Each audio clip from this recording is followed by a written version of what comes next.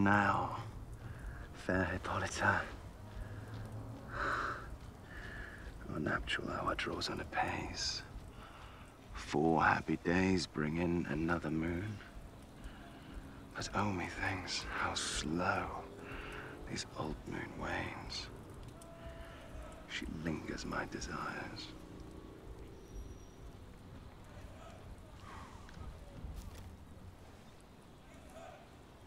Four days will quickly steep themselves in night. Four nights will quickly dream away the time.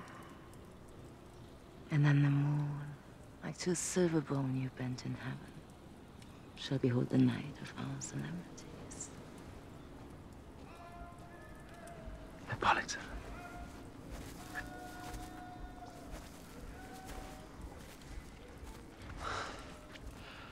I wooed thee with my sword, and won thy love, doing thee injuries. But I will wed thee in another key. With pomp, with, with triumph, and, and with, with reveling!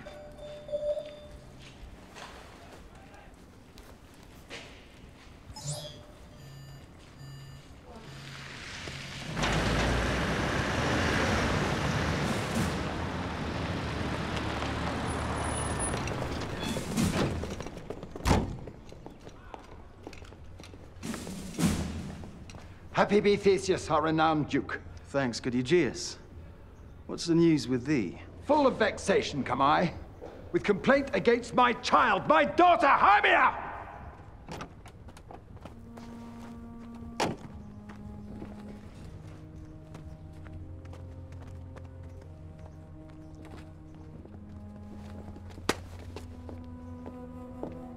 Stand forth, Demetrius. My noble lord, this man hath my consent to marry her. Stand forth, Lysander. And my gracious duke, this man hath bewitched the bosom of my child. Thou, thou, Lysander, thou hast given her rhymes, and interchanged love tokens with my child. With cunning hast thou filched my daughter's heart, turned her obedience, which is due to me, to stubborn harshness. And my gracious duke, be it so she will not hear before your grace consent to marry with Demetrius. I beg the ancient privilege of Athens. As she is mine, I may dispose of her, which shall be either to this gentleman or to her death, according to our law immediately provided in that case.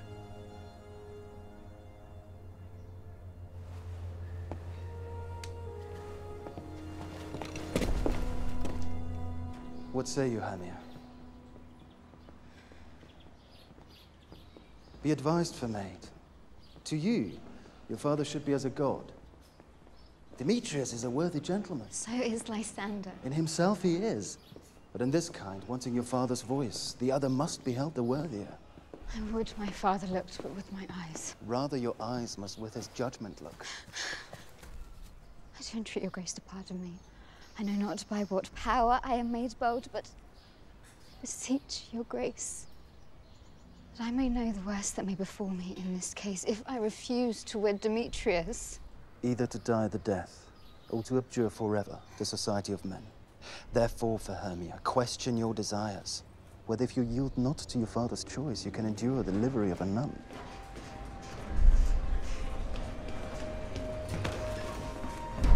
So will I grow, so live, so die, my lord, ere I will yield my virgin patent up. Take time to pause.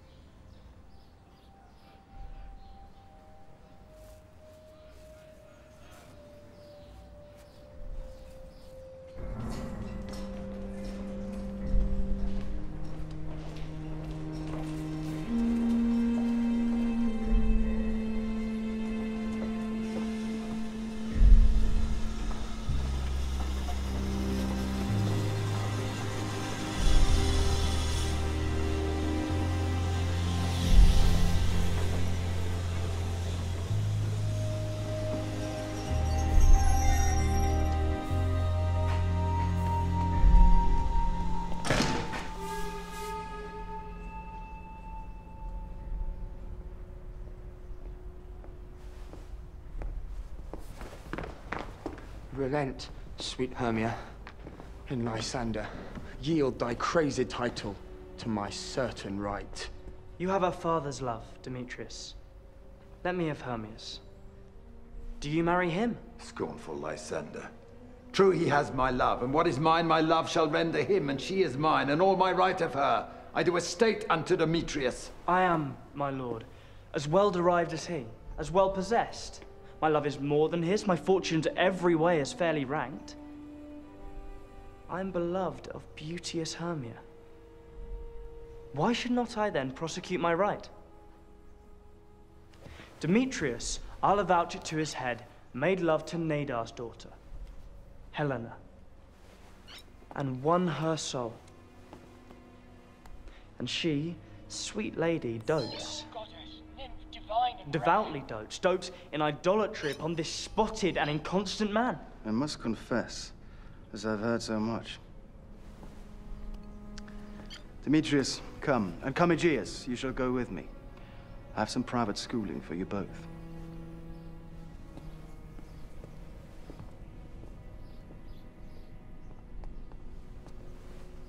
For you, fair Hermia, look you arm yourself to fit your fancies to your father's will or else the law of Athens yields you up, which by no means we may extenuate, to death or to a vow of single life.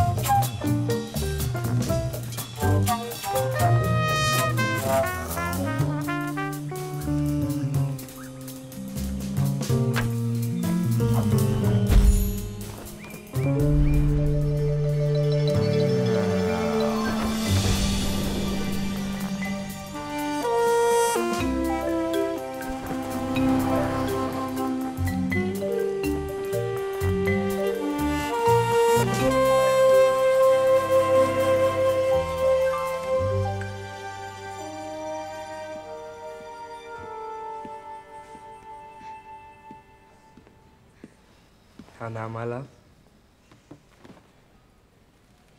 Why is your cheek so pale? How chance the roses there do fade so fast? They like for want of rain, which I could well beteem them from the tempest of my eyes. Aye, me. Thought that I could ever read, could ever tell by tale or history. The course of true love never did run smooth. Then let us teach our child patience. A good persuasion. Therefore, hear me, Hermia. I have a widow aunt, a dowager of great revenue. From Athens is her house remote, seven leagues. There, gentle Hermia, may I marry thee? To that place the sharp Athenian law cannot pursue us.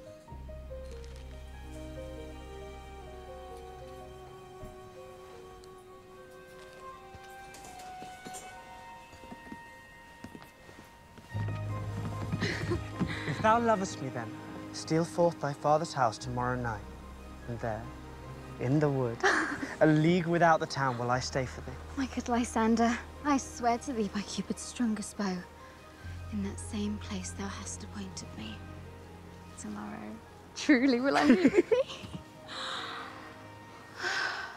Me, me, my.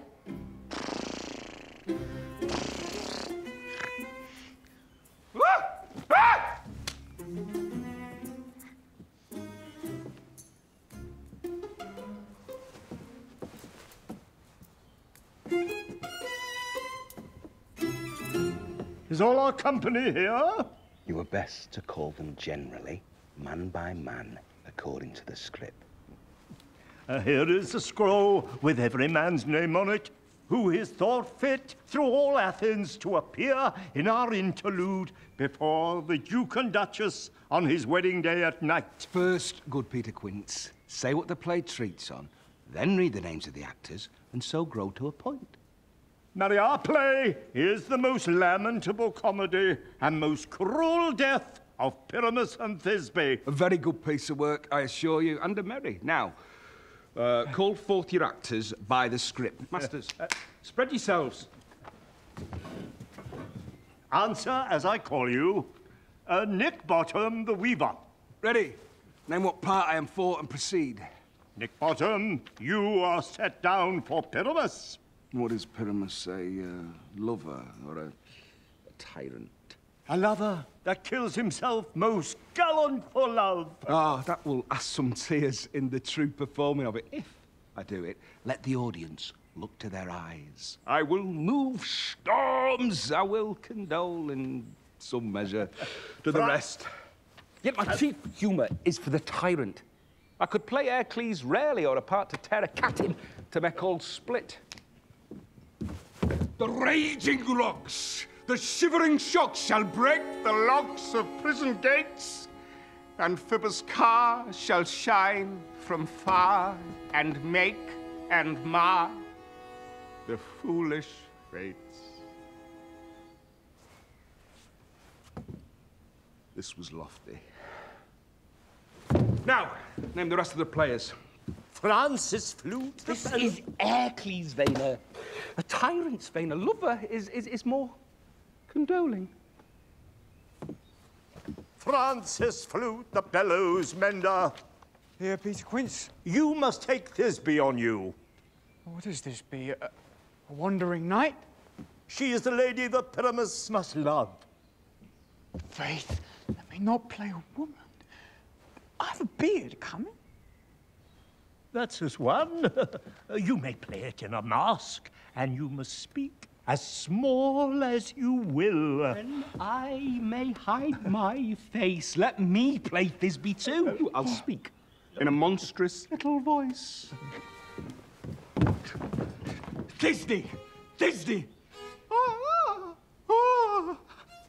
Ah, Pyramus, lover dear, thy, thy Thisbe dear, and lady dear. No, no, you must play Pyramus, Flute, Thisbe. Well, proceed. Robin Starveling the tailor. Here, Peter Quince. Robin Starveling, uh, you must play Thisbe's mother.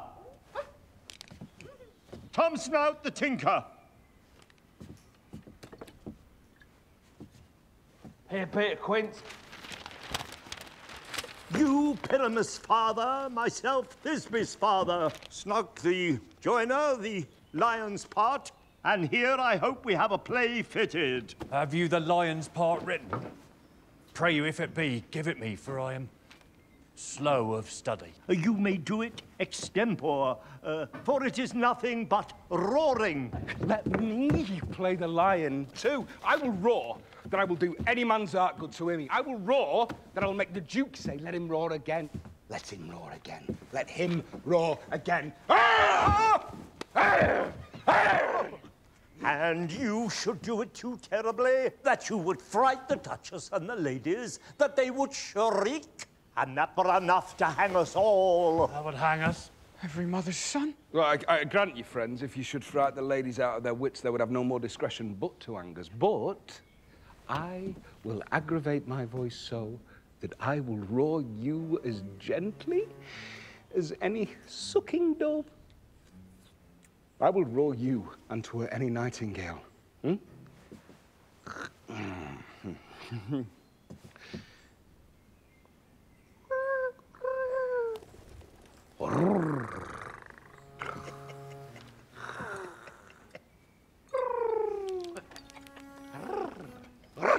No, you can play no part but Pyramus, for Pyramus is, is a sweet-faced man, a proper man, uh, as one shall meet on a summer's day.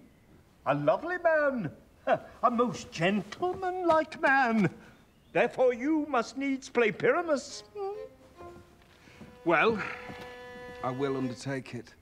Here, here are your parts, and I am to request you and desire you to con them by tomorrow night and meet me in the palace wood a mile without the town. By moonlight, there we will rehearse. For if we meet in the city, we shall be dogged by company and our devices known.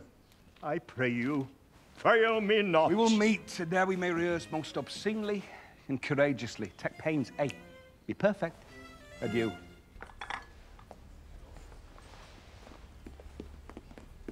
Godspeed, fair playfellow. Whither away? Call you me fair? That fair again unsay. Demetrius loves your fair. Happy fair. Sickness is catching. Oh, a favour so yours would I catch, fair Hermia, ere I go. My ear would catch your voice, my eye your eye, my tongue would catch your tongue, sweet melody. Oh, were the world mine, Demetrius being baited, the rest I give to be to you translated. Oh, teach me how you look, and with what art you sway the motion of Demetrius's heart. Demetrius! I frown upon him, yet he loves me still. But your frowns could teach my smiles such skill. I give him curses, yet he gives me love. Oh, that my prayers could such affection move. The more I hate, the more he follows me. The more I love, the more he hateth me. Oh, His folly, Helena, is no fault of mine. None but your beauty. Would that fault were mine. Take comfort. He no more shall see my face. Lysander and myself will fly this place. Before the time I did Lysander see seemed Athens as a paradise to me.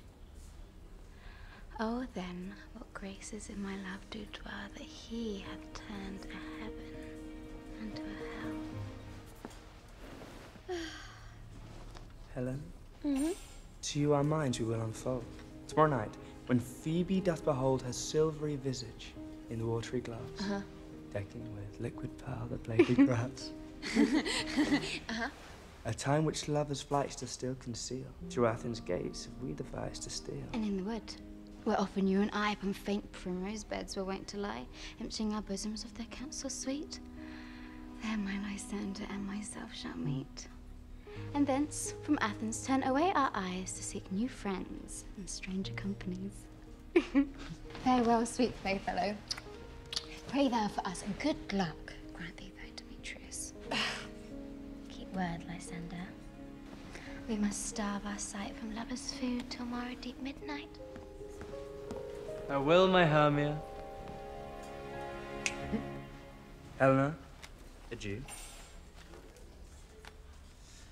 As you on him, Demetrius dote on you.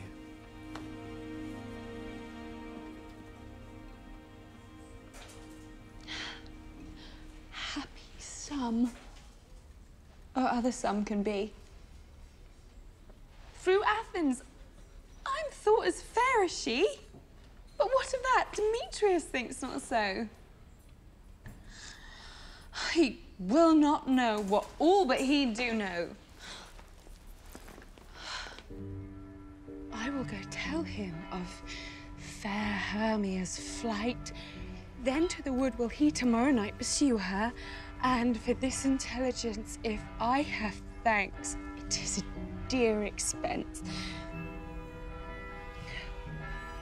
Here in me now to enrich my pain. And have his sight thither and back again.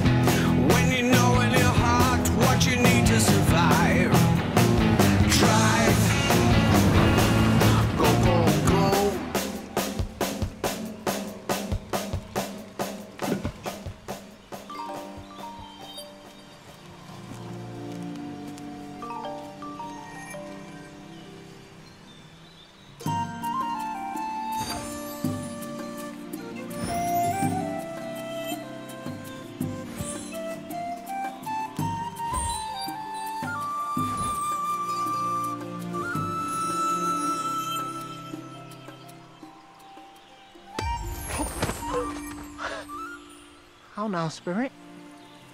Whither wander you? Over hill, over dale, thorough bush, thorough briar, over park, over pale, thorough flood, thorough fire.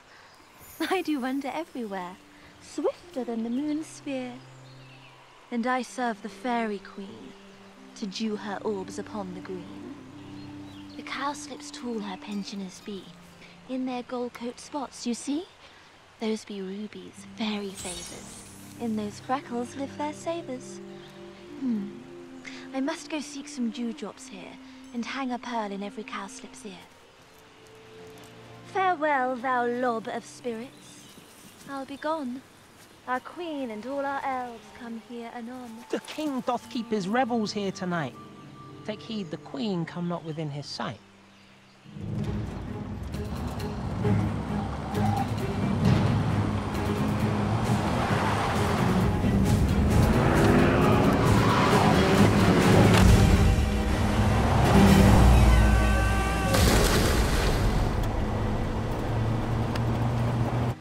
Oberon is passing fell and wrath, because that she as her attendant hath a lovely boy, stolen from an Indian king.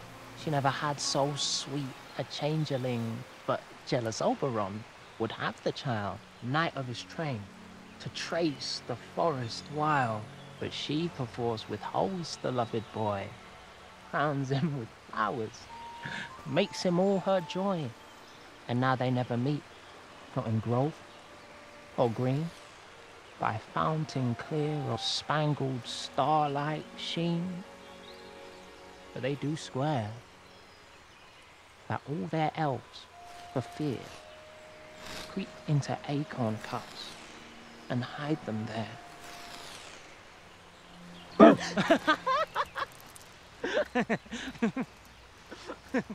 Either I mistake your shape in making quite, or else you are that shrewd and knavish sprite called Robin Goodfellow. Are not you he who frightened the maidens of the villagery? Uh, Those that hobgoblin call and sweet puck. You do their work and they shall have good luck. Are you not he? Thou speakest aright. I am that merry wanderer of the night.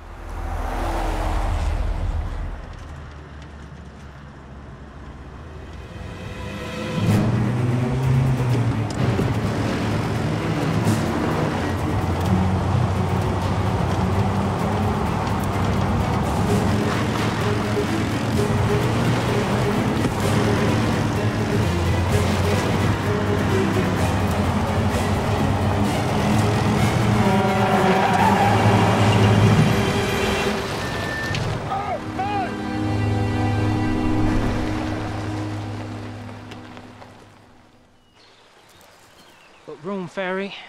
Here comes Oberon. And here my mistress. Would that he were gone.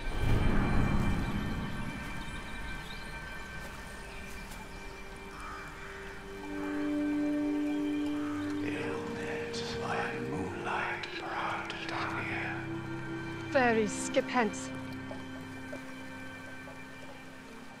I have forsworn his bed and company. Tarry, rash wanton. Not I thy lord? Then I must be thy lady.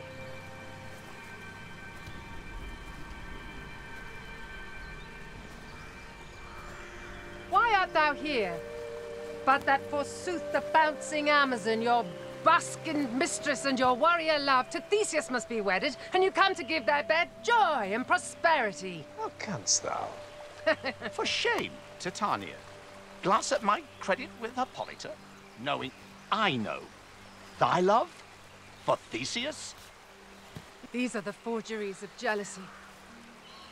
And never, since the middle summer, met we on hill, in dale, in forest or mead, but with thy brawls thou hast disturbed our sport. Therefore the winds, piping to us in vain, as in revenge, have sucked up from the sea contagious fogs, which falling in the land have every pelting river made so proud that they have overborne their continents. And thorough this distemperature, we see the seasons alter. The spring, the summer, the childing autumn, angry winter change their wonted liveries, and the mazed world by their increase now knows not which is which. And this same progeny of evils comes from our debate, from our dissension. We are their parents and original. Do you amend it then? Hmm? It lies in you. Why should Titania cross her Oberon? Hmm? I do but beg a little changeling boy to be my henchman. Set your heart at rest. The fairy land buys not that boy from me. His mother was a votress of my order, but she, being mortal, of that boy did die, and for her sake do I rear up her boy, and for her sake I will not part with him. How long within this wood intend you staying? Perchance till after Theseus's wedding day? If thou wilt patiently dance in our rounds and see our moonlight revels go with us.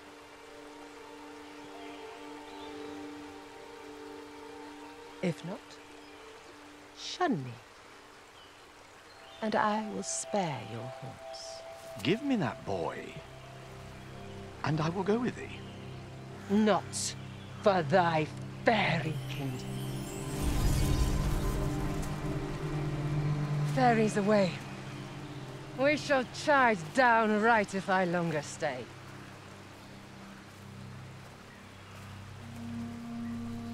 Go thy way.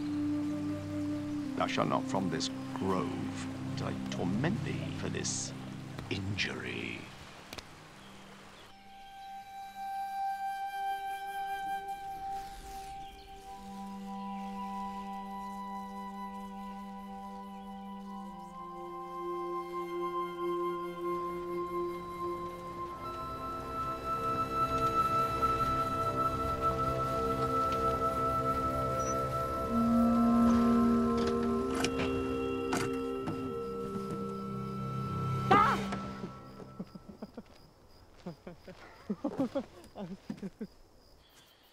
Gentle Puck, come hither. Thou rememberest, since once I sat on a promontory and heard a mermaid on a dolphin's back uttering such dulcet and harmonious breath that the rude sea grew civil at her song, and certain stars shot madly from their spheres to hear the sea maid's music. I remember. And at that time I saw, but thou couldst not, flying between the cold moon and the earth, Cupid, all armed. A certain aim he took, at a fair vestal throned by the west. He loosed his love shaft smartly from his bow, as it should pierce a hundred thousand hearts. But I might see young Cupid's fiery shaft quenched in the chaste beams of the watery moon, and the imperial votaress passed on in maiden meditation, fancy free. Yet, marked I where the bolt of Cupid fell. It fell upon a little western flower, before milk white, now purple with love's wound. And maidens call it love in idleness. Fetch me that flower. The herb I showed thee once. The juice of it on sleeping eyelids laid make man or woman madly dote upon the next live creature that it sees. fetch me this herb, and be thou here again ere the Leviathan can swim a league. I'll put a girdle round about the earth in 40 minutes. Maybe 50.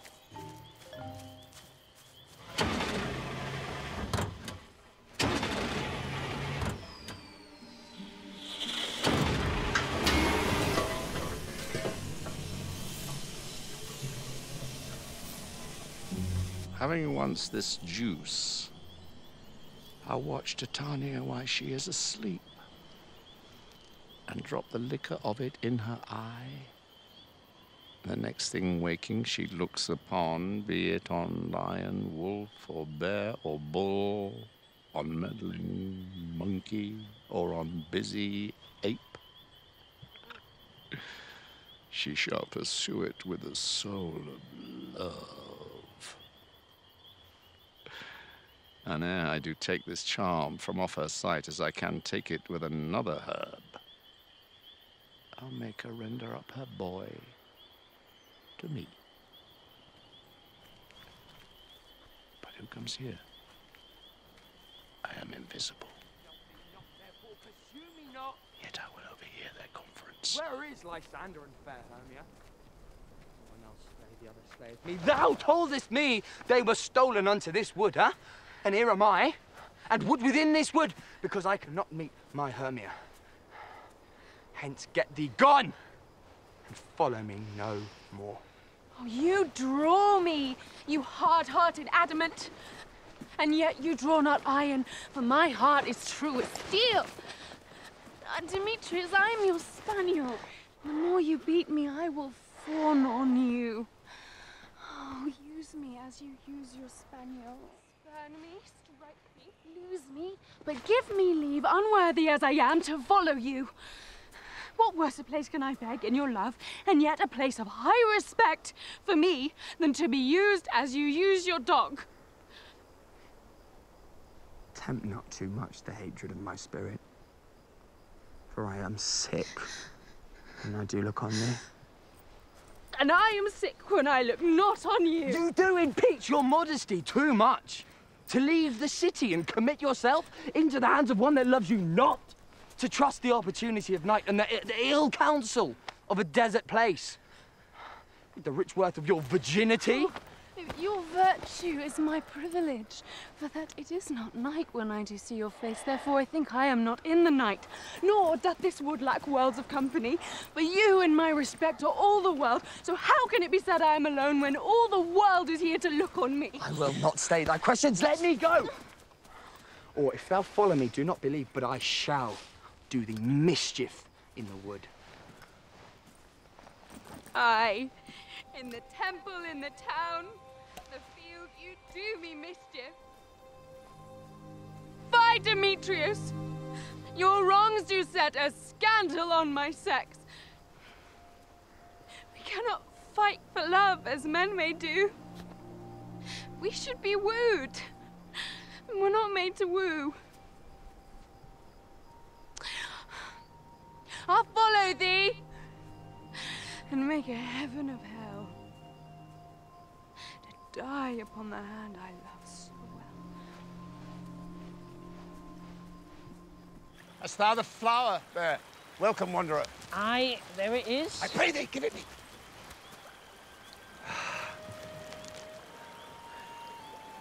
I know a bank where the wild thyme blows, where oxlips and the nodding violet grows, quite o'er-canopied with luscious woodbine, with sweet musk roses and with eglantine.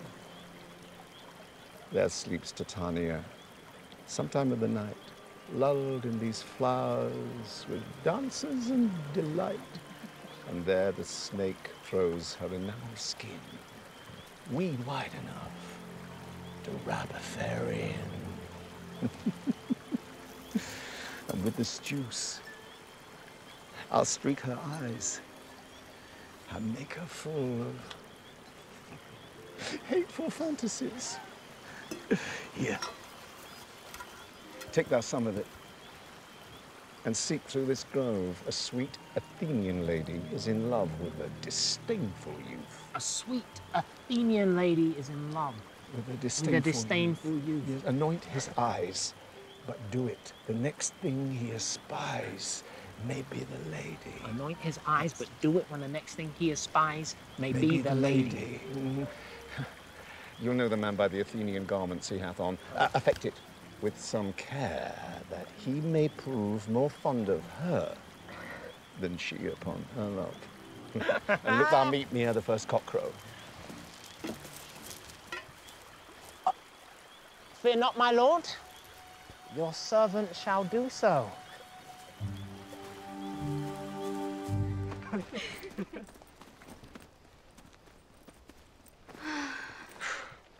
Fair love, you faint with wandering in the wood.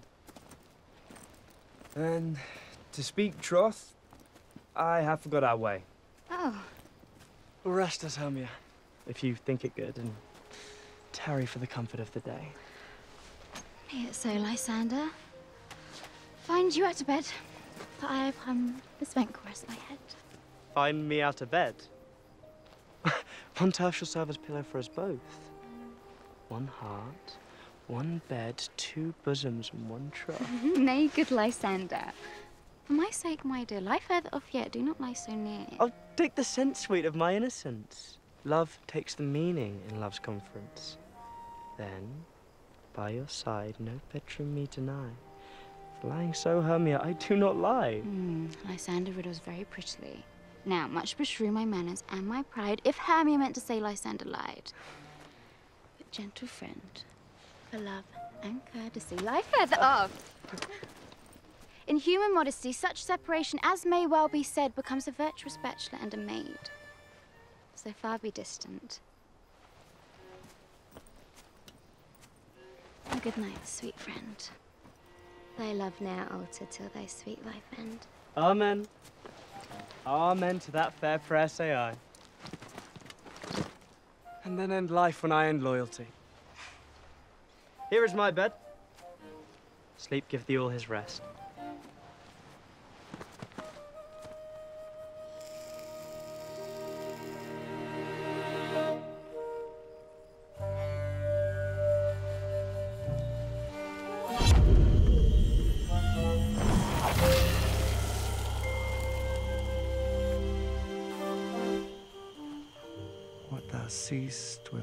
Dost wake, do it for thy true love take.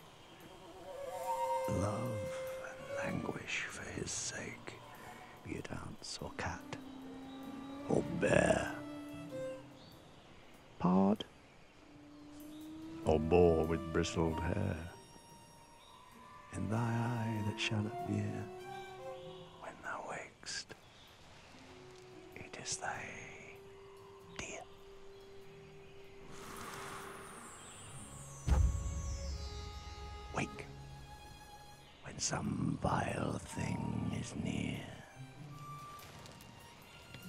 Through the forest have I gone, but Athenian found I none, on whose eyes I might approve this flower's force of stirring love. Night and silence.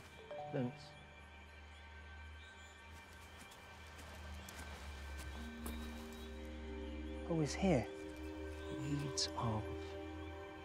Athens he doth wear.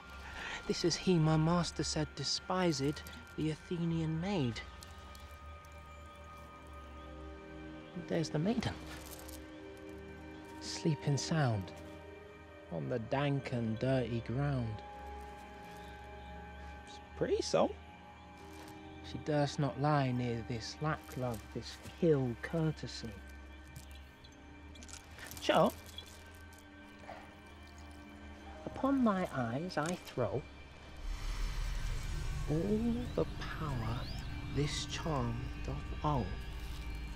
When thou wakest, let love forbid sleep his seat on thy eyelid. So awake when I am gone, for I must now to Oberon.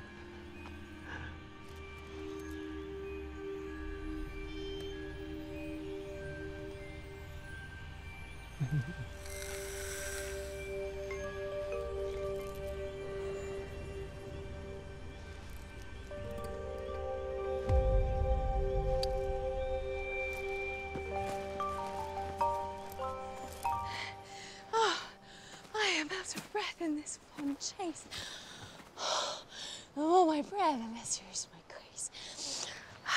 Happy is Hermia, wheresoe'er she lies. She hath blessed and attractive eyes. But who's here?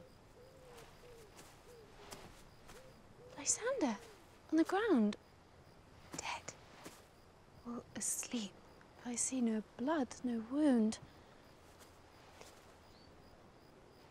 Lysander, if you live, good sir, awake.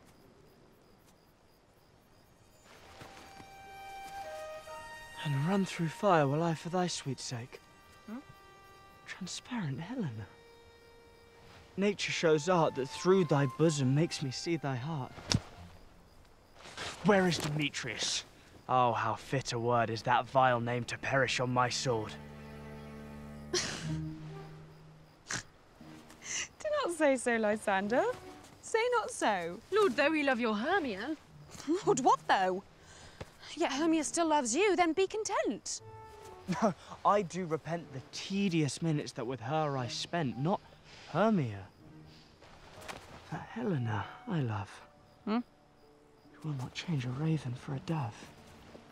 The will of man is by his reason swayed, and reason says you are the worthier maid.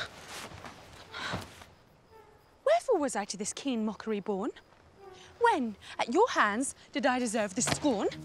Is it not enough, is it not enough, young man, that I did never, no, nor never can deserve a sweet look from Demetrius's eye? But you must flout my insufficiency? Good troth, you do me wrong. Good suit you do, in such disdainful manner me to woo. Oh, that a lady of one man refused should therefore by another be abused.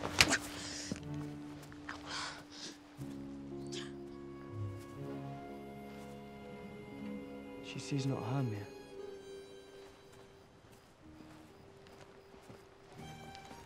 Hermia, sleep thou there, and never mayest thou come Lysander near. And, all my powers, address your love and might to honor Helen and to be her knight.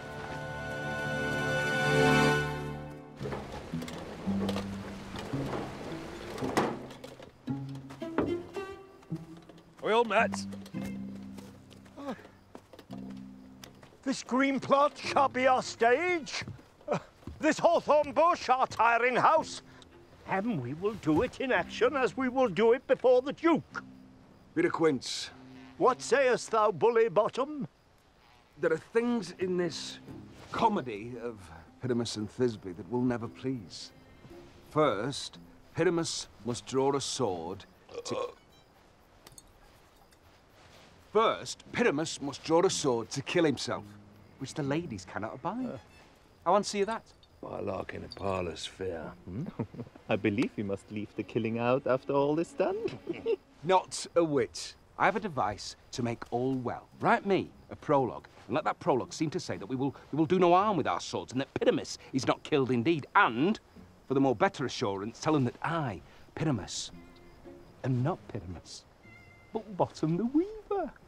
This will put them out of fear. Well, we shall have such a prologue. Will not the ladies be afraid of the lion? I fear it, I promise. Masters, uh, you ought to consider with yourselves to bring him. God shield us, a, a lion among ladies is a most dreadful thing. For there is no more fearful wildfowl than your lion living. We ought to look to it. Oh, therefore another prologue must tell he's not a lion. Nay. You must name his name, and half his face must be seen through the lion's neck. And there indeed, let him name his name and tell him plainly he is Snug the Joiner. Well, it shall be so.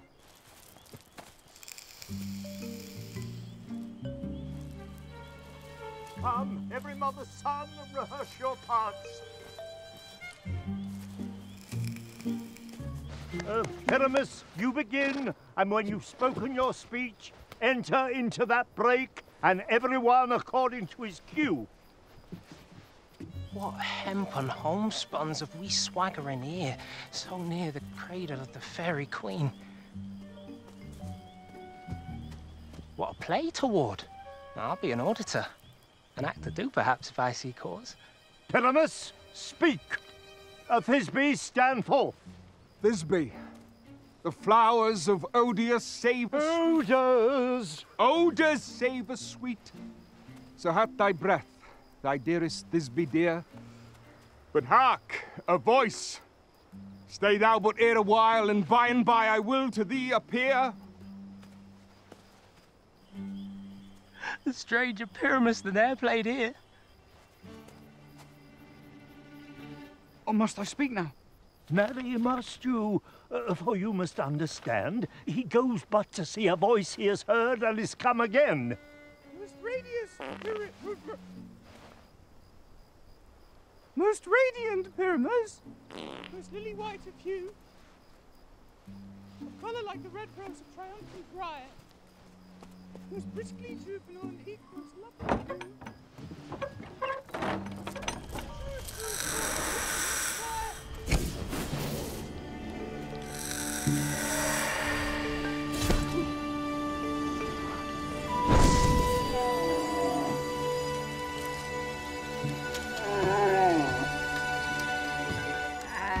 Briskly juvenile and eke, most lovely Jew. A true, truest horse, and yet will never tire. Meet thee, Pyramus, in Ninny's tomb. Ninus too, man, Ninus too. But you must not speak that yet. You speak all your part at once, cues and all. Pyramus, stand forth, your cue is past. It is never tire. Oh,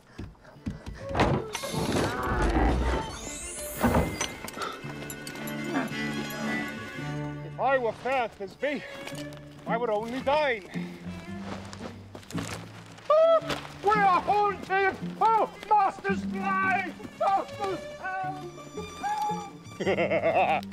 oh, I see their knavery.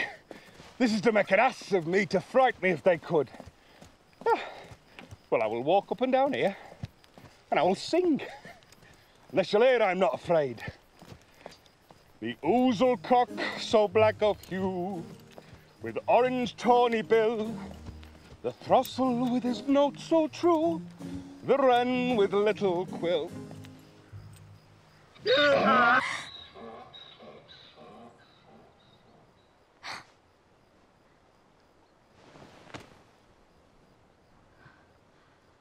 I'm even busy.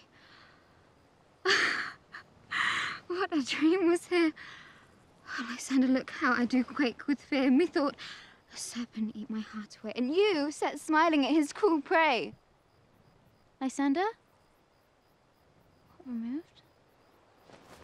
Lysander! Lord!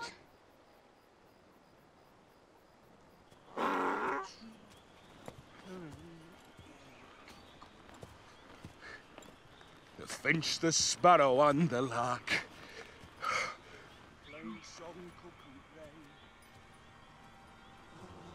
Angel wakes me from my flowery bed. Dare not answer. I pray thee, gentle mortal, sing again. Mine ear is much enamoured of thy note. So is mine eye enthralled to thy shape, and thy fair virtue's force perforce doth move me on first view to say, to swear, I love thee. Methinks, mistress, you should have little reason for that, and to say the truth, reason and love hold little company together nowadays. Oh, thou art as wise as thou art beautiful. Well, not so neither. But if I had wit enough to get out of this wood, I would have enough to serve mine own turn. Do not desire to go.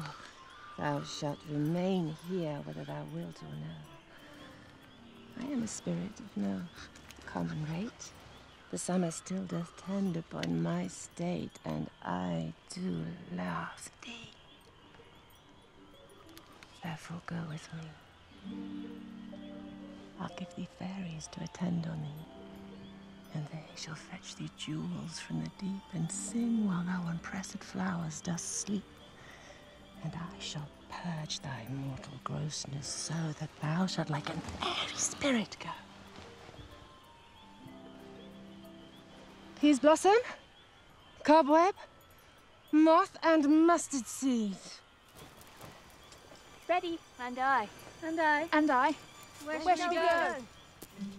Be kind and courteous to this gentleman. Nod in his walks and gambol in his eyes. Feed him with apricots and dewberries, with purple grapes, green figs, and mulberries. The honeybugs steal from the humble bees. Nod to him, elves, and do him courtesy. Hail, mortal. Hail. Hail, hail. I cry your worship's mercy. Heartily, I, I, I beseech your worship's name. Cobweb. Ah, well, I shall desire you of more acquaintance, Cobweb. If I cut my finger, I shall make bold with you. ah, um, your name? Peaseblossom. I pray you commend me to Mistress Squash, your mother, and Master Peascod, your father. Peaseblossom, I shall desire you of more acquaintance too. Your name, I beseech you. Mustard seed. Ah, mustard seed. I know thy patience well. That same cowardly, giant-like ox-beef hath devoured many a man of my house. I promise you, your kindred hath made my eyes water there now. I shall desire you of more acquaintance too, mustard seed. Come now, lead into my bower. The moon, methinks, looks with a watery eye, and when she weeps, weeps every little flower, lamenting some enforced chastity.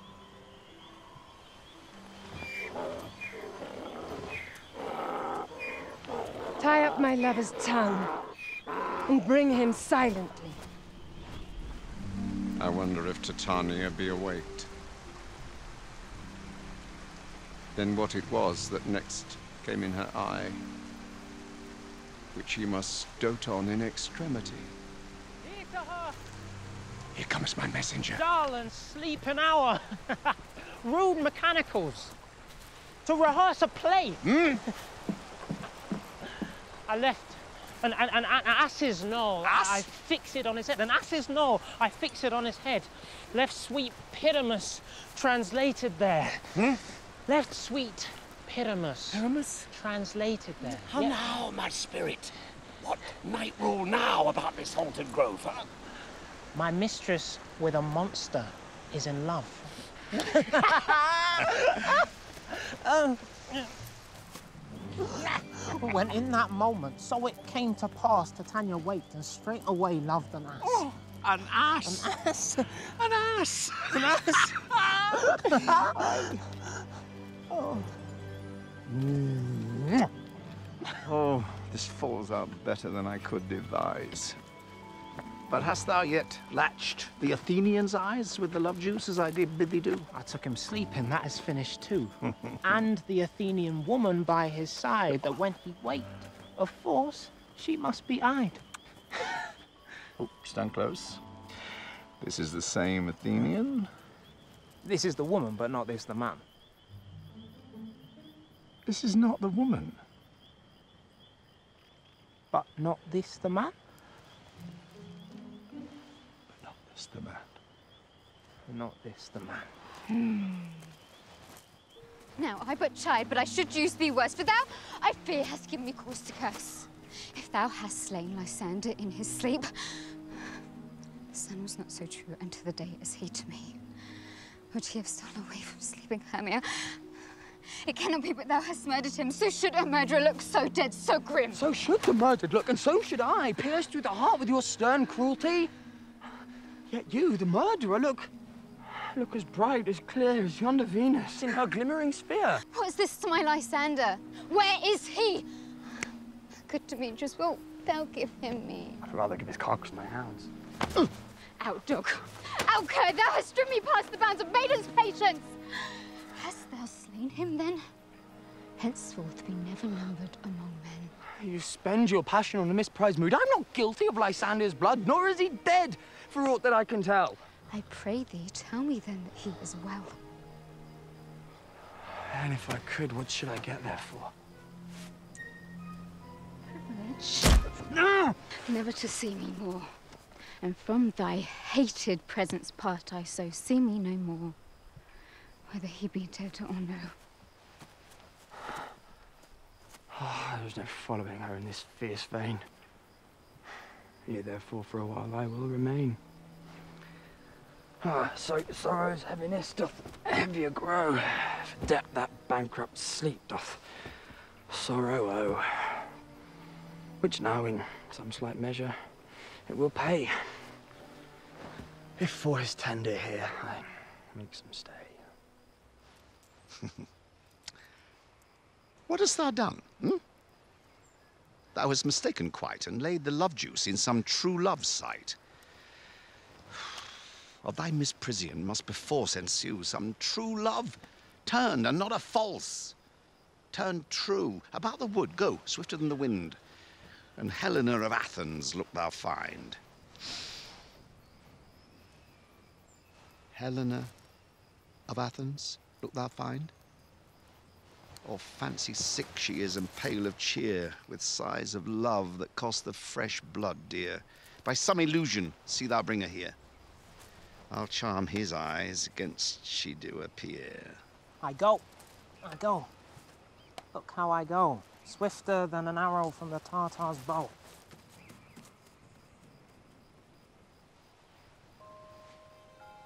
Flower of this purple dye, hit with Cupid's archery. Sink in apple of his eye, when his love he doth espy. Let her shine as gloriously as Venus of the sky. When thou wakest, when she be by, beg her for remedy. Captain of our fairy band, Helena is here at hand, with the youth mistook by me, pleading for a lover's fee. Shall we there, fair pageant, see? Lord, what fools these mortals be. Mm, stand aside. The noise they make will cause Demetrius to awake. Then will two at once woo one. one. uh.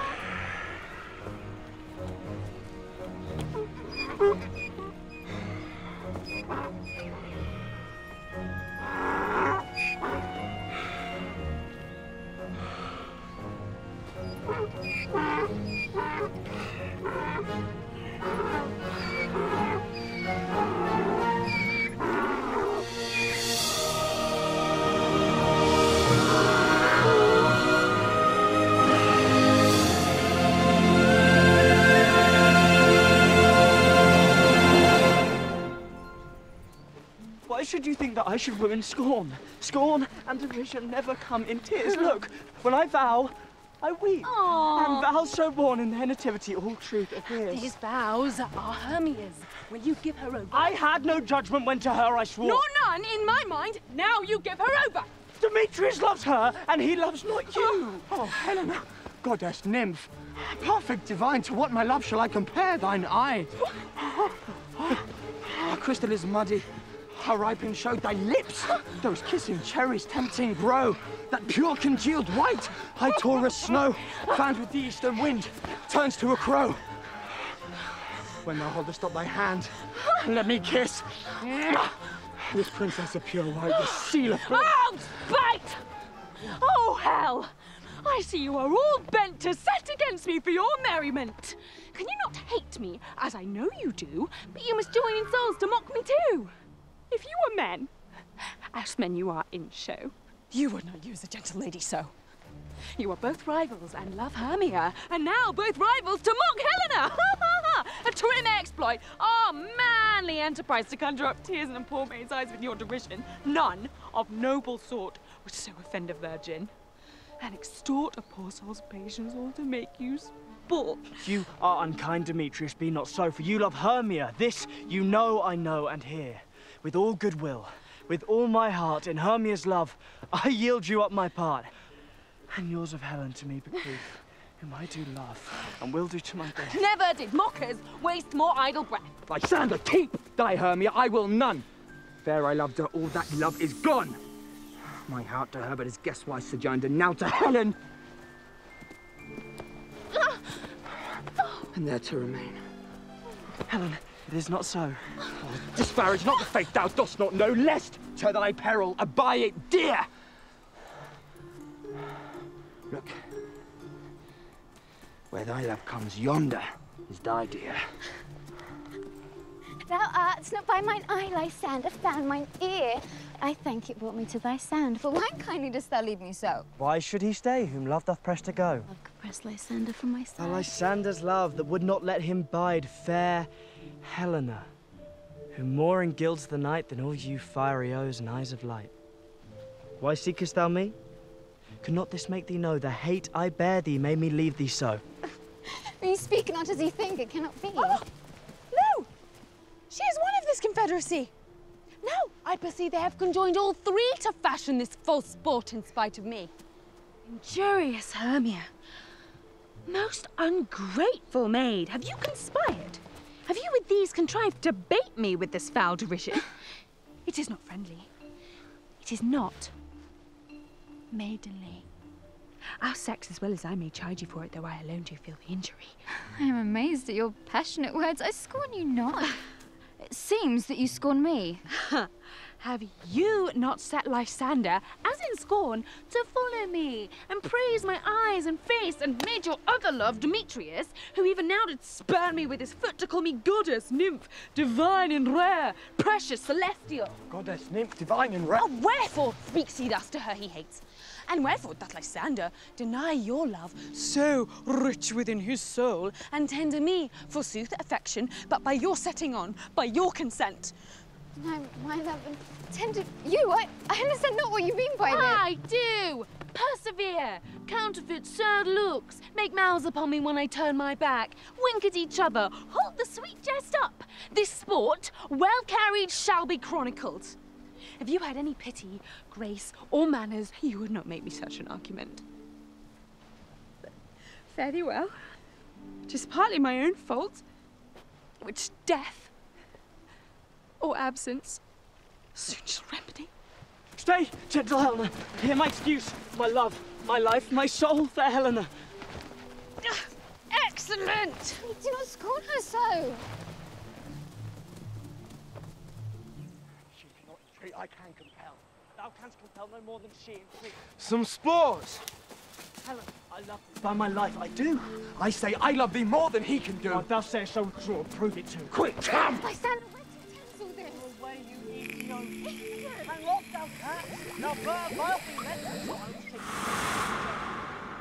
By my life. I never did desire to see thee more. Therefore, be out of hope, of question, of doubt, be certain. Nothing true it is, no jest that I do hate thee and love Helena. Canker blossom, you thief of blood! What? Have you come by night and stolen my love's heart from him? Have you no modesty? No maiden shame? No touch of bashfulness? You puppet, you! Aye, that way goes the game! Now I perceive that she hath made compare between us statures. She hath urged her height, and with her tall passage, her height forsooth, she hath prevailed with him! Ah! Why are you going so high in the esteem? Because I am some dwarfish! Thou painted maypole, speak! I am not yet so low but that my nails can reach unto thine eye! Because we are somewhat lower than myself.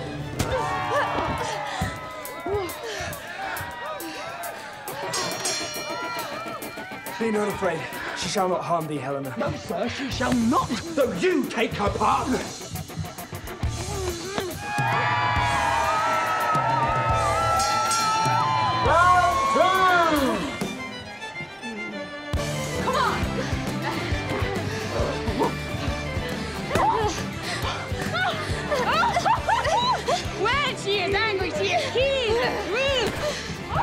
Oh, she was a vixen when we went to school.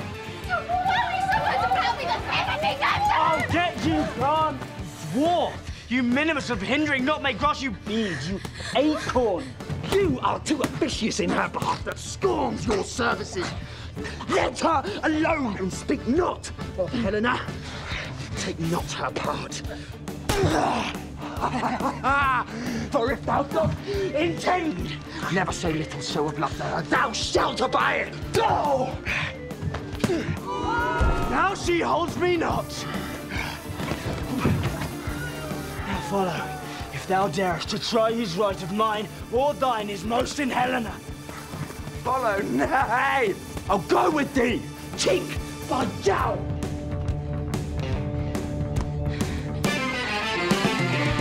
You, mistress. Oh, this coil is long of you. Nay, go not back to Athens. I will not trust you, I. Nor longer stay in your cursed company. Your hands than mine are quicker for a fray. My legs are longer, though, to run away. I am amazed. and know not what to say. This is thy negligence. Hmm. Still thou mistakest. Or else commits thy knaveries wilfully. Believe me, King of Shadows, I mistook. Hmm. Did you not tell me I would know the man by the Athenian garment he had on? Yes. And so far, then blameless proves my enterprise that I have anointed an Athenian's eyes. And so far, am I glad it so did sort, as this their jangling I do esteem a sport. Dost cease these lovers? Seek a place to fight. Hie, therefore, Robin, overcast the night. The starry welkin cover thou anon with drooping fog, as black as Acheron, and lead these testy rivals so astray as one come not within the other's way, till o'er their brows death counterfeiting sleep with leaden legs and batty wings doth creep.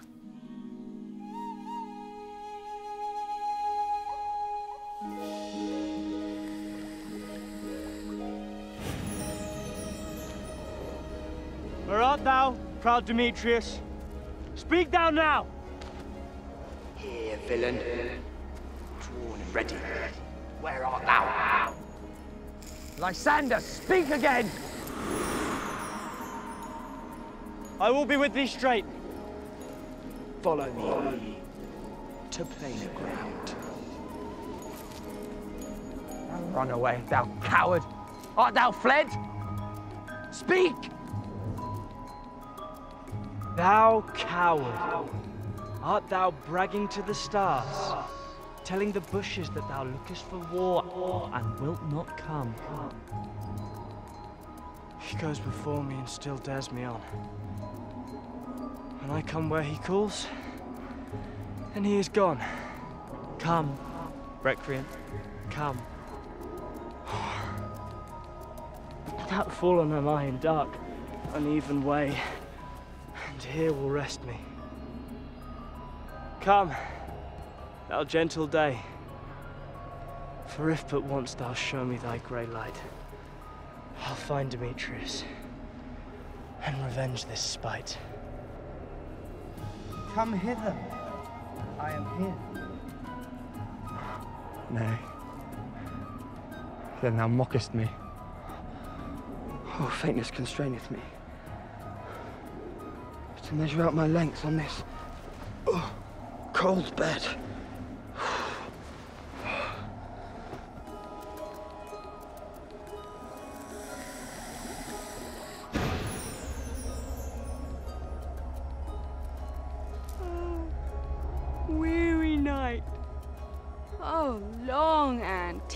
Tedious night. Abate thy hour. Shine comforts from the east. That I may back to Athens by daylight, from these that my poor company detest. And sleep that sometimes shuts up sorrow's eye. Steal me a while from mine own company. Yet but three. Here she comes, cursed and sad. Cupid is a knavish lad thus to make poor females mad. Dabbled with the dew and torn with briars, I can no further crawl. No further go. My legs will keep no pace with my desires.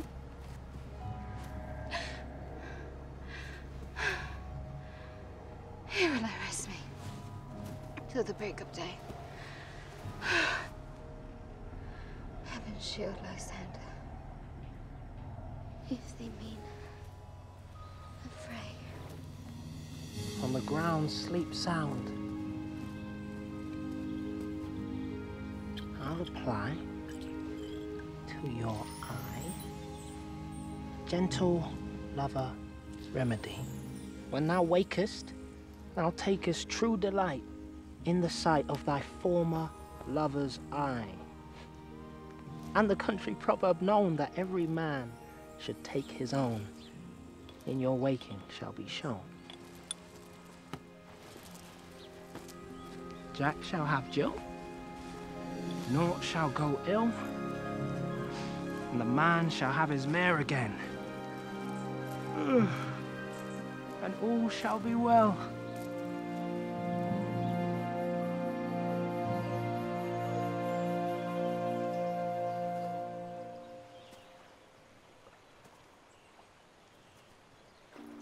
To the barbers. Hmm. Methinks I'm marvellous airy about the face. Hmm.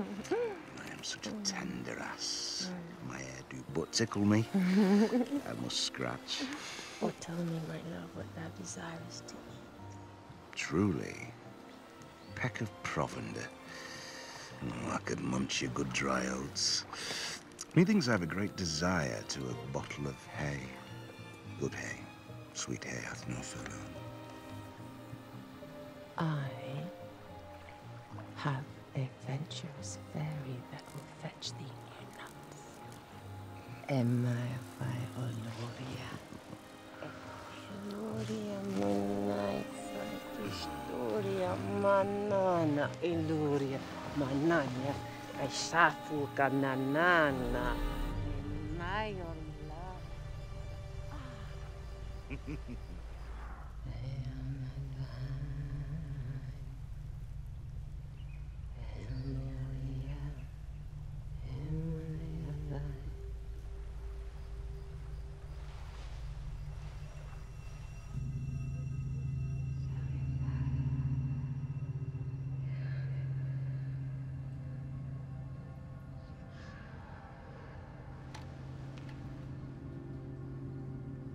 she is mine, I may dispose of her, which shall be either to this gentleman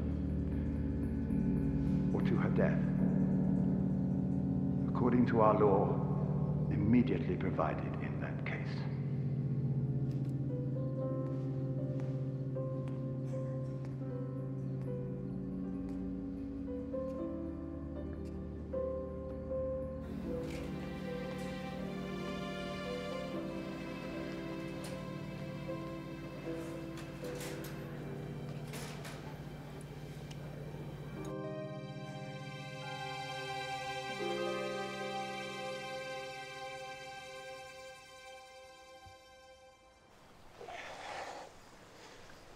does the woodbine, the sweet honeysuckle gently entwist.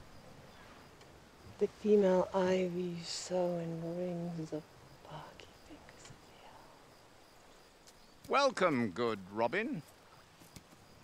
Seest thou this sweet sight? Her dotage now I do begin to pity. I will undo this hateful imperfection of her eyes. And, gentle Puck, take this transformed scalp from off the head of this Athenian swain, that he, awaking when the others do, may all to Athens back again repair, and think no more of this night's accidents than as the fierce vexation of a dream. But first, I will release the fairy queen.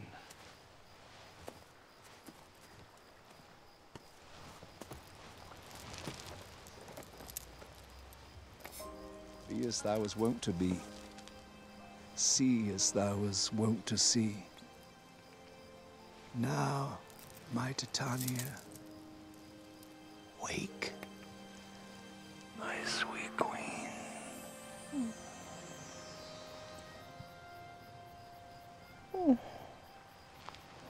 My Oberon. what visions have I seen? Methought I was enamored of an ass. Mm-hmm. there lies your love.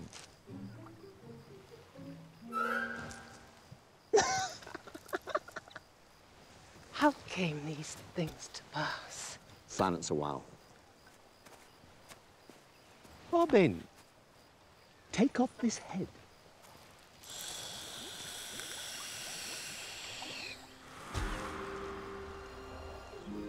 Now when thou wakest with thine own fool's eyes, peep. Then come, my queen, take hands with me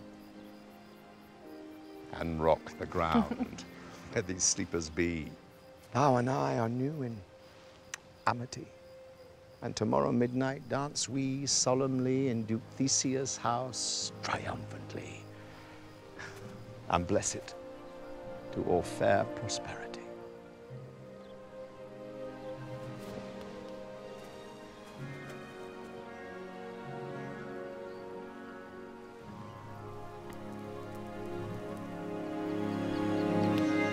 Fairy King, attend and mark. I do hear the morning lark. Then, my queen, in silent, sad trip we after the nightshade. We the globe can compass soon, swifter than the wandering moon. Come, my lord. And in our flight, tell me how it came this night that I sleeping here was found, with these mortals on the ground.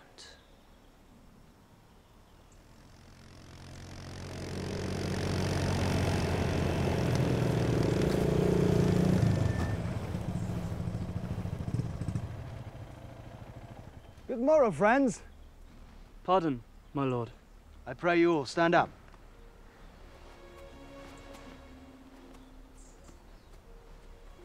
I know you two are rival enemies. How comes this gentle concord in the world?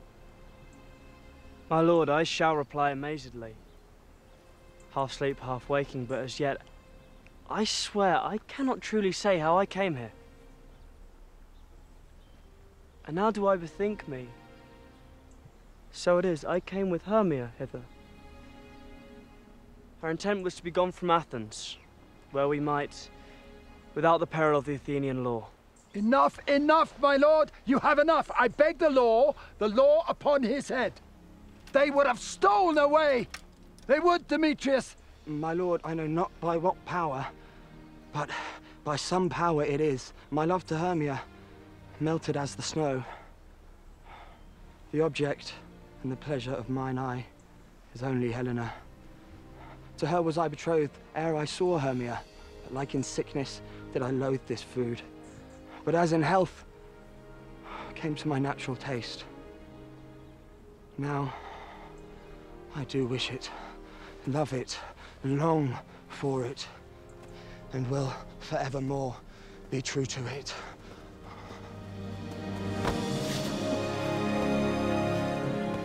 Aegeus, I will overbear your will. For in the temple by and by, with us these couples shall eternally be knit. Away with us to Athens!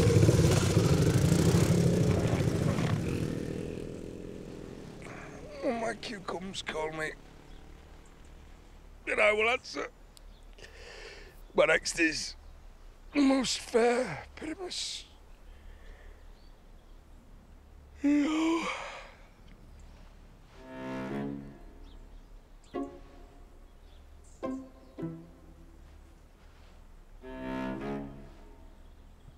Bit of quince. Flute the bellows bender. Snout the tinker! Starveling? God's my life. Stolen ants left me asleep. Cosa cale villa mane I have had a most rare vision. I have had a dream past the wit of man to say what dream it was. Man is but an ass if you go about to expound this dream. Methought I was. There is no man can sell one. Methought I was. And methought I had. But man is but a patched fool if he will offer to say what me thought I had. The eye of man hath not heard. The ear of man hath not seen man's. Hand is not able to taste his, his tongue to conceive, nor his heart to report what my dream was.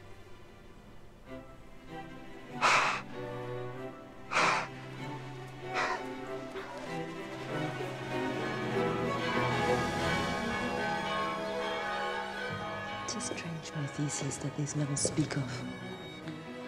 More strange than true. I never may believe these antique fables, nor these fairy toys. Lovers and madmen have such seething brains, such shaping fantasies that apprehend more than cool reason ever comprehends.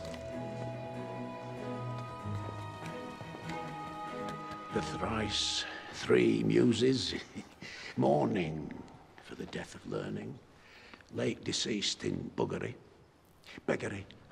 That is some satire. Keen and critical, not sorting with a nuptial ceremony. Hmm. Right, a tedious, brief scene of young Pyramus and his love Thisbe. Very tragical mirth. Merry and tragical. Tedious and brief. That is hot ice and... And wondrous strange snow. How shall we find the concord of this discord? A play there is, my lord, some ten words long, which is as brief as I've known a play. For by being ten words, my lord, it is too long, which makes it tedious. For in all the play there is not one word apt, one player fitted, and tragical, my lord, it is for Pyramus there in it. Kill himself, which I must confess made my eyes water but more merry tears, the passion of loud laughter never shed. What are they that do play it? Hard-handed men that uh, work in Athens here, which have never laboured in their minds till now, and now have toiled their unbreathed memories with the same play against your nuptial. And we will hear it. No. It's not for you. For I have heard it over, and it is nothing, nothing in the world, unless you can find sport in their intents, extremely stretched and conned with cruel pain, it, it to do you service. I will hear that play. For never anything is amiss when simpleness and duty tender it. Go, bring them in.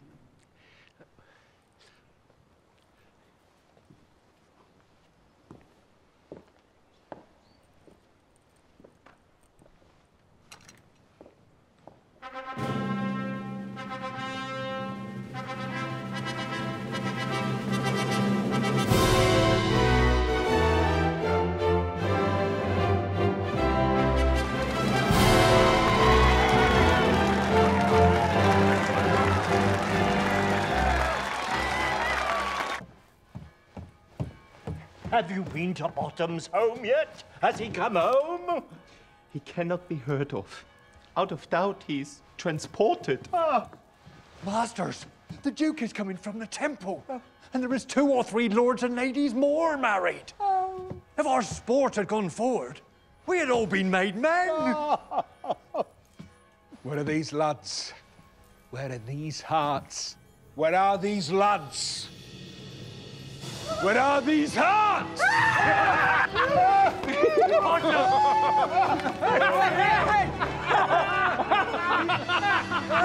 oh, Bottom! Outrageous day! Oh, happy hour! Not a word of me. All I will tell you is that the Duke hath dined. Get your apparel together. Meet presently at the palace. Every man look over his part. For the short and the long is. The short and the long is? Our play is preferred.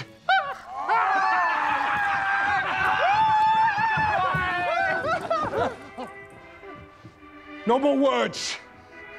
Away! Go! Away! Come on!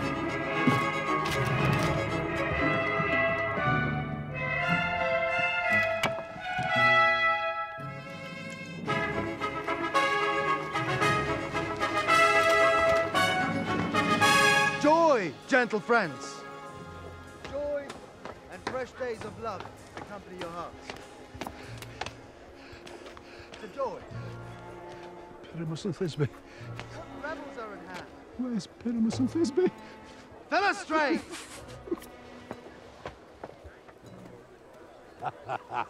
Here, mighty Theseus, What abridgment have you for us this evening? the battle with the centaurs.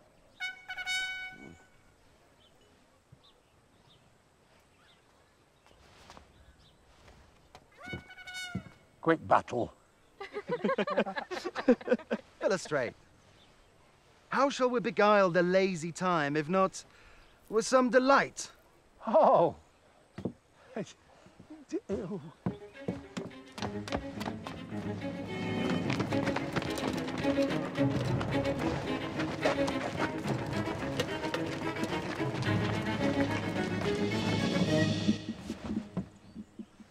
So please, your grace. In this same interlude it doth befall that I one snap by name present a wall. And such a wall as I would have you think that had in it a crannied hole. Or chink through which the lovers, Pyramus and Thisbe, did whisper often, very secretly. And this, the cranny here, right and sinister, through which the fearful lovers are to whisper. Would you desire Lyman Hare to speak better?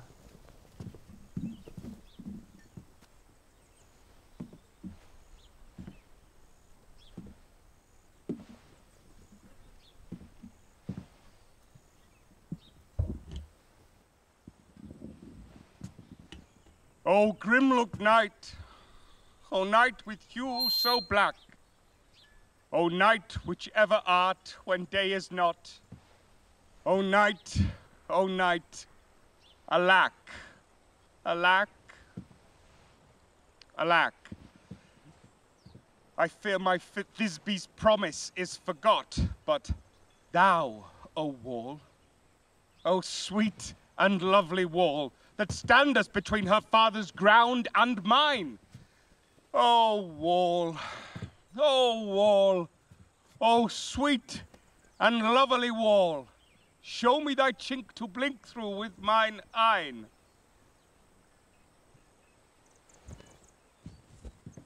Thanks, courteous wall. Jove shield thee well for this. But what see I? No Thisbe do I see. Oh, wicked wall, through whom I see no bliss. Cursed be thy stones for thus deceiving me. The wall, methinks, being sensible, should curse again. Yonder she comes.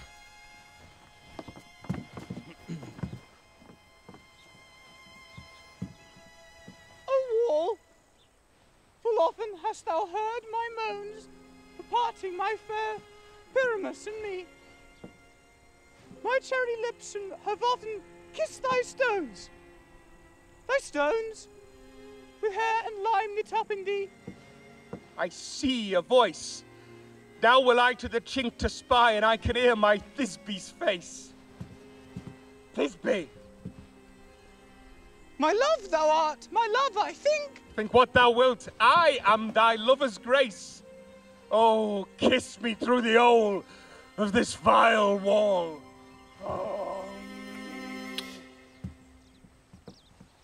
I kiss the wall's hole and not thy lips at all. Wilt thou at Ninny's tomb meet me straight away? Ninus' tomb. Tide lived, tide dare. I come without delay.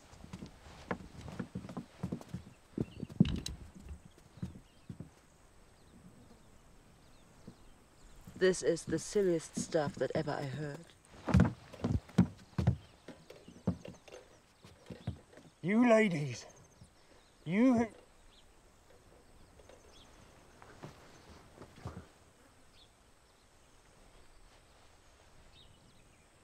You ladies, you whose gentle hearts do fear the smallest monstrous mouse that creeps on floor, may now perchance both quake and tremble here, when lion rough in wildest rage doth roar.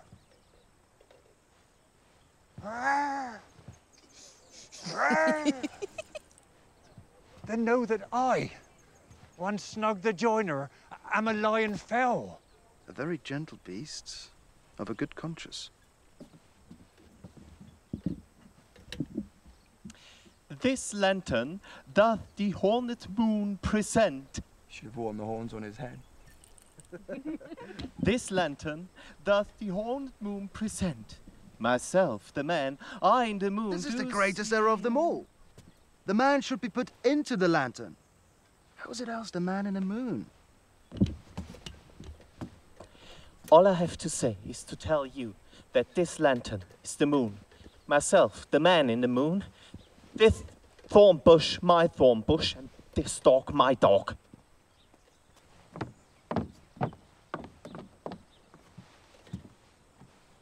This is old Ninny's tomb. Ninus' tomb. Oh. Oh. Oh. Ah. Oh.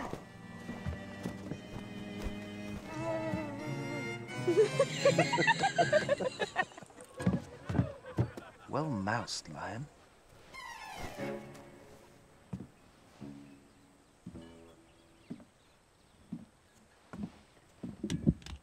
Sweet moon, I thank thee for thy sunny beams.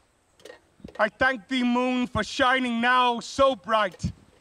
For by thy gracious golden glittering gleams, I trust to take of truest Thisbe's sight. But stay, oh spite! But mark, poor knight, what dreadful dole is here?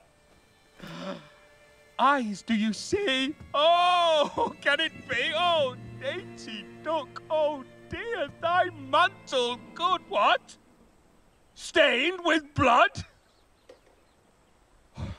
Approach ye, furies fell! Oh, fates, come, come! Cut, tread, and drum! Quail, cross, conclude, and! This passion and the death of a dear friend would go near to make a man look sad. Beshrew my heart, but I pity the man.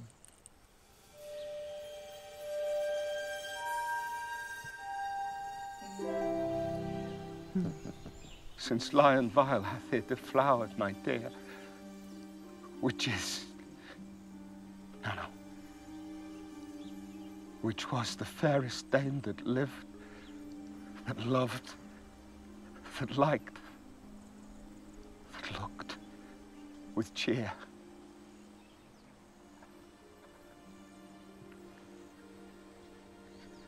Come, tears confound. Outsword and wound the pap of Pyramus. Aye, that left pap, where the heart doth hop. Thus die I. Thus. Thus. Thus.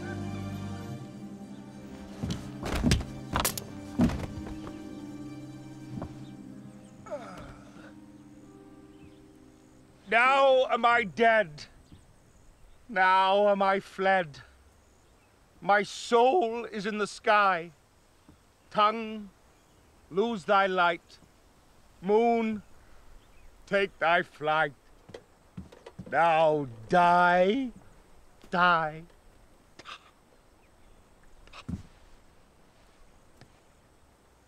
Die!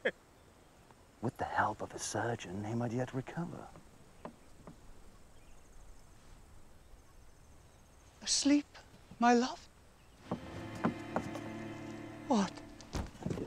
Dead, my dove? A tomb must cover his sweet eyes.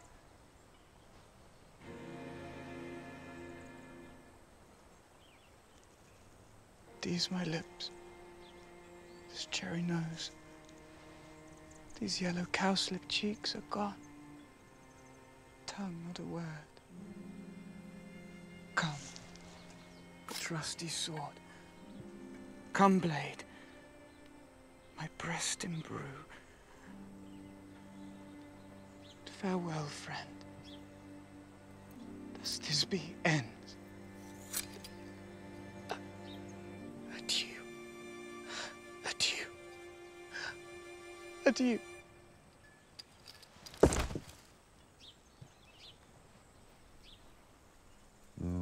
Moonshine and lion are left to bury the dead. Aye. And Wall too. No, no. I assure that the wall is down that parted their fathers. Would it please you to see an uh, epilogue? No, epilogue, I pray you. For your play needs no excuse. Yeah.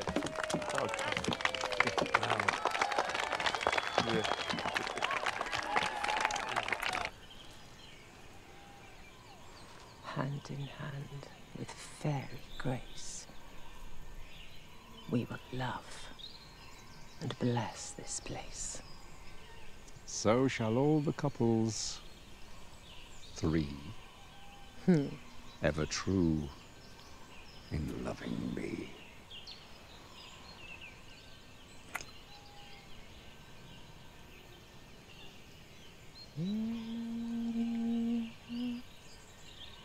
Oethia, Recia Iloria,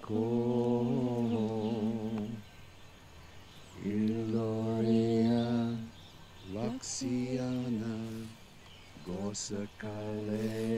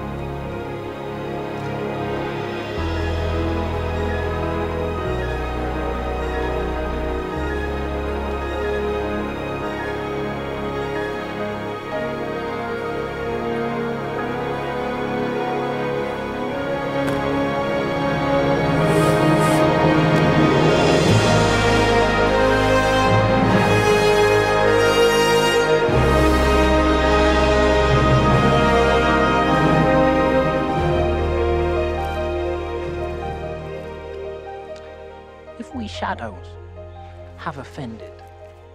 Think but this, and all is mended, that you have but slumbered here, while all these visions did appear, and this weak and idle theme no more yielding than a dream.